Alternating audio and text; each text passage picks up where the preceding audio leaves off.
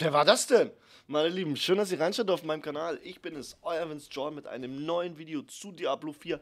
Das eigentliche Video, was gestern kommen sollte. Gestern hatte ich eine Maske auf. Ja, warum liegt hier eigentlich Stroh? Der ein oder andere fragt sich. Man hat nicht das so gut verstanden, man konnte es hören, aber es gab gleich Leute, die dann gleich, oh, man versteht gar nichts, man hört gar nichts. Hey, warum hast du eine Maske auf? Ja, weil Baum und ähm, bleibt da gerne wenn ihr nicht solche Hater seid. So, genug davon. Wir wollen ein bisschen über Ausrüstung sprechen. Wir wollen darüber sprechen, ob Diablo 4 eventuell zu schwer ist. Denn es geht tiefer rein. Man muss sich entscheiden bei den Skillungen als Bleistift. Es gibt Dinge, die jetzt in der Demo nicht spielbar werden, die in der Beta spielbar werden wie zum Beispiel das Reittier, mit dem man sich fortbewegen kann. Und das ist eine ziemlich coole Sache. Das wird ab Level 15 freigeschaltet und ihr solltet die Beta mindestens bis Level 20 spielen, um die Belohnung einzuhaben. Wer das nicht gesehen hat, kann das gerne auf meinem Kanal tun. Da habe ich ein Beta-Video zu gemacht. Da gibt es nämlich geile Belohnung für, wenn man nur die Beta gespielt hat, also nur von der Beta.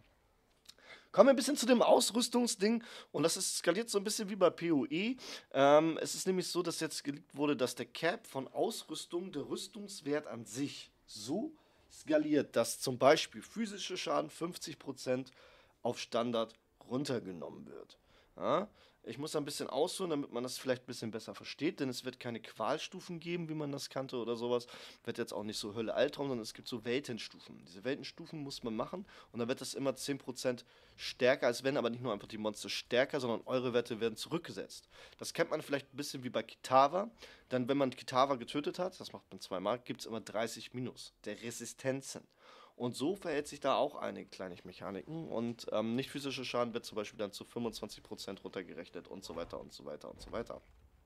Das sind so Sachen, ähm, die mehr Tiefe bringen, die für den einen oder anderen vielleicht schwer sein werden. Und worauf ich hinaus will, ist, dass Ausrüstung auch mehr denn je jetzt einen Aspekt hat, der nicht so ist wie bei den drei. Weil ich habe viele bei meinem Gameplay gesehen, was übrigens äh, sehr viele Klicks bekommen hat. Vielen Dank dafür. Ähm, ist ja normal, da klickt dann jeder drauf. Aber ähm, dass es so ist, dass legendäre Gegenstände, was wird ja keine Set-Gegenstände geben, zumindest am Anfang, laut Blizzard. Vielleicht dann in der ersten Season. Ist aber nicht so, dass man sich jetzt einfach sein Set zusammenfappt und reingrindet, sondern legendäre Gegenstände haben einzigartige Eigenschaften, die dann wiederum für einige Attacken stehen und pushen und skalieren und skillen. Und es orientiert sich immer mehr an D2. Es hat wirklich viele, viele, viele, viele D2-Möglichkeiten und auch im Skilltree, dazu machen wir ein separates Video, ist das so, dass wir dort sehen zum Beispiel, dass man sich entscheiden muss. Das heißt, wir können nicht alles gehen, wir haben dann bestimmte Punkte frei und dann müssen wir sagen, okay, wir machen da, wir, wir pushen, wir modifizieren das und nicht einfach nur, wir machen unser Set an, wir setzen die Rune ein und klicken drauf. Auch das Zurücksetzen wieder müssen wir alles zurücksetzen und so weiter. Das kennt man alles ein bisschen so von PoE, von anderen Games und es wird Mechaniken geben wie in World of Warcraft. Da möchte ich aber noch nicht so ganz eingehen, denn Diablo 4 hat auch MMO-Elemente und orientiert sich da natürlich an ihren Bestsellern.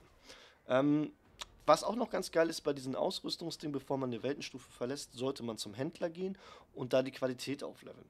Ähm, das auch wenn das immer nur 1, 2, 3 Prozent sind, PoE-Spieler kennen das, bei Leben zum Beispiel oder sowas, skaliert sich das immer mit.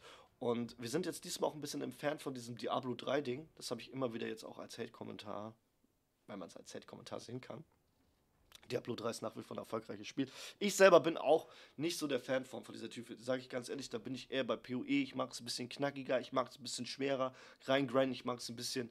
Ähm, ich ich finde, das sieht auch zu, zu, zu kindlich aus. Vielleicht lag es auch einfach daran, dass das World of Warcraft da so den Mega-Hype hat und sie gedacht haben, ey komm, wir machen Diablo auch so.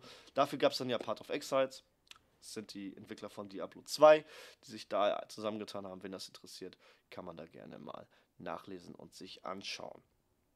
Aber genug davon gequatscht. Wir wollen ja auch gar nicht so tief reingehen. Ihr könnt mir mal schreiben, was ihr sagt. Okay, wo seht ihr das? Wo geht die Reise hin? Ich hatte auch die Befürchtung, dass die Attacken wirklich sehr lahm teilweise aussehen. Und das stimmt auch. Es ist natürlich viel langsamer. Ähm, aber später kann man da mehr Wucht reinbringen. Und ich habe da auch schon das ein oder andere Gameplay gesehen, wo das dann nochmal ein bisschen fetziger sein wird. Die Beta ist natürlich auch nochmal dafür da, einiges auszumerzen. Ähm, erwartet da jetzt aber keine Wunderschritte, denn es ist Fakt, dass da jetzt keine heftigen, krassen neuen Animationen reinkommen, sondern dass das Spiel da dann auch schon so zu 80% so erscheint, wie wir das jetzt da in der Beta spielen. Das ist dann so. Ähm, ja, ich hoffe, ich konnte euch das ein oder andere ein bisschen mitbringen. Ist, finde ich, ganz coole, ein paar, paar geile Sachen da so, die man auf jeden Fall, über die man mal sprechen sollte. Ähm, wenn ihr davon mehr sehen wollt, bleibt auf jeden Fall gerne dabei. Ich hoffe, der Ton war jetzt par excellence. Ich habe mir extra ein neues Mic das. Und ähm, könnt ihr mir mal gerne schreiben, Verbesserungsvorschläge, Kritik, was auch immer, oder ob ihr es geil fand, einfach einen Daumen lassen. Würde ich mich auch so freuen. Ich bin es, euer John. Peace.